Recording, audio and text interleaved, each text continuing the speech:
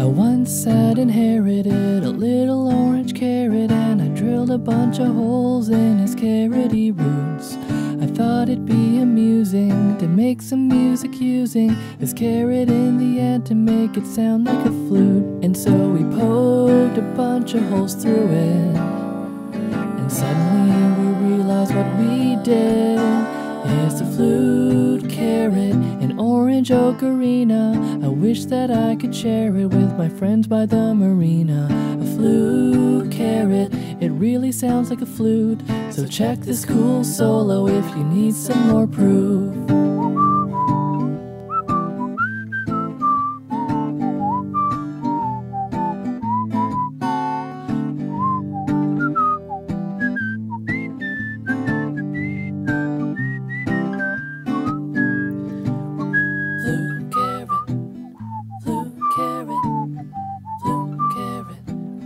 a flu.